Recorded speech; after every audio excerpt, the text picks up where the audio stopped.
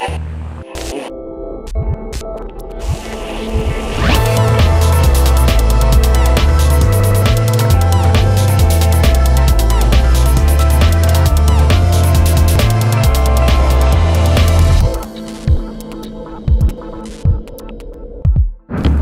Welcome to Flite Test. I'm Josh, and today we have a little bit of switch for you. Josh Scott had to leave a little early, so we brought in a good friend that's going to be helping editing our, our future videos, and his name is Dave. And you may recognize Dave from a, a previous episode behind the scenes. He was one of the originals. Yes. Yes, thank you for coming back. Oh, it's good. I'm just wanted to find out some more about Find- this thing. Well, very cool. Well, well what we're going to do today, guys, is uh, in the past we've talked about balancing your airplane. And if you remember, we say that anything can fly as long as you have enough thrust, lift, and balance. And balance is so crucially important because if you don't balance your plane right, you're not going to get the uh, behavior you need to sustain flight.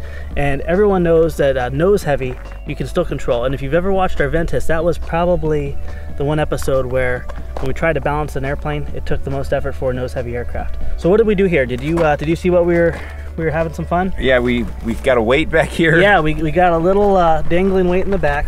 And uh, for you guys to know, everything is like a lever and a fulcrum. Uh, a little weight in the tail is a lot of weight in terms of CG. And that's because the farther back you go, you have more of a leverage. That's why usually it's harder to find an excessively nose heavy airplane compared to an excessively tail heavy. All right, we got our battery plugged in and uh, I wanna do my best to bring this back in one piece because this is actually one of our favorite episodes where we put retracts on a Trojan and I really don't want to destroy this airplane. But it does show where sometimes when you modify an airplane, you do switch things like CG. So I think this is a really good candidate to try it out. So uh, what do you say we put it up in the air? Yeah, let's see this thing.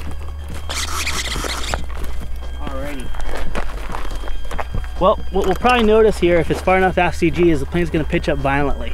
You, what you want to do is you don't want to counteract that with uh, forcing it down. You want to also work on your throttle as well, because if you push it down, uh, sometimes it'll reverse snap on you. Sometimes, not all the time. Everyone's going to be different. So I'm to be a little cautious of that at first. But let's go ahead. This is a maiden. I haven't even trimmed this up since I bound it, so we'll see how it flies. All right, here we go. Let's see what happens. All right, as you can see, the plane is pitching up violently, but you can also see that it's incredibly pitch sensitive. So are you fighting that back weight right now? Yeah, as, as the plane pitches up and I push down, do you see how it actually forces down with aggression? And you can see the wings rocking? That's what you don't want. And you can see when I give uh, aileron input, and actually any input I put has extreme effects. Instead of aileron having just a crisp roll effect, it actually changes my attitude when it comes to flying.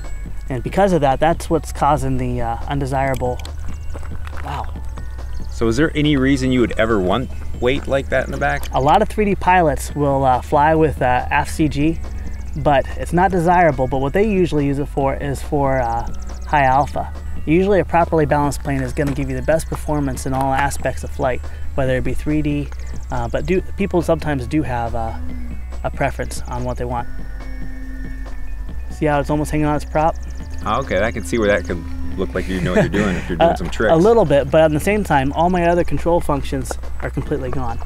And uh, let me also show you another thing. When I roll this plane upside down, you see how it wants to porpoise around and kind of come around like that? Yeah. That's a sign of aft CG. And as you can see, the wings really don't want to, uh. I'm really fighting this right now. The wings really don't want to do their job. They don't want to track straight. It's constantly in a state of me catching one tip stall from another tip stall, mostly to the left. So uh, what I'm gonna try to do is bring this around and uh, land it. Matter of fact, let me keep it in the air for a second longer here and uh, we can kind of decide how we'd best attack this. Bank and yank may not do it. You may have to counteract and catch things like uh, tip stalls with rudder to keep it flying properly. Uh, one good thing is oftentimes with aft CG airplanes, when you back off the throttle and put it in the wind, as long as you're really careful on the elevator, you can get her down safely. But you gotta remember that your pitch uh, is gonna be very, very sensitive. How about we try that right now? What do you say? All right, let's see it. Okay, we're gonna back off the throttle. And I'm actually, see how I'm almost pushing forward on the stick? Well, it's down in one piece and I, I'm thankful for that. I strongly recommend if you can choose soft grass or field over maybe hard, hard gravel or, or asphalt, go for the soft grass and field because most likely right when you get in the flares when things are gonna get really ugly. That's when you're trying to bleed off all your speed and that's when the uh, tail heavy issues are really gonna wreak havoc on you. So that plane was tail heavy. Is there typically only tail and nose heavy issues, or is there ever left and right?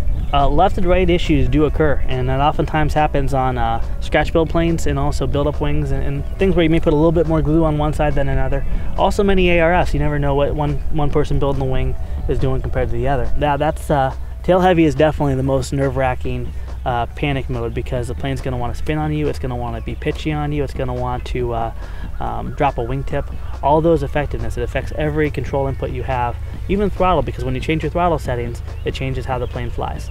So I strongly recommend if you do have a tail air, heavy airplane, get it up as much altitude, fight it for altitude, then start diagnosing, okay, at what throttle setting is it most stable? At what control input is it most stable? Where can I hold a steady glide?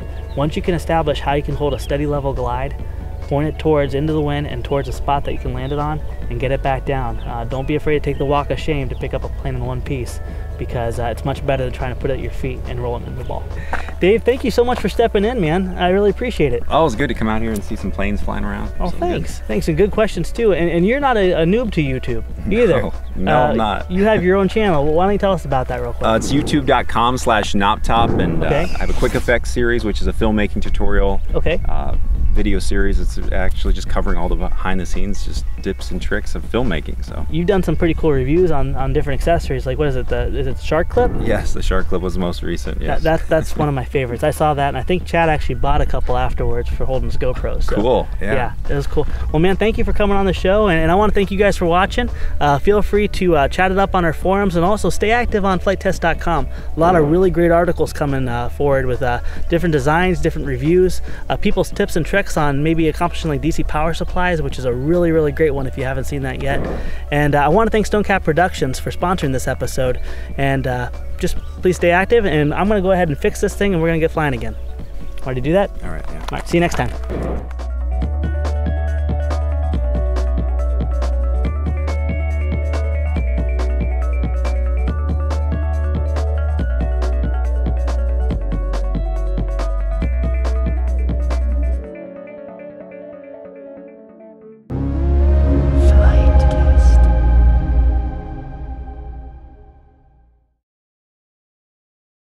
Nose down.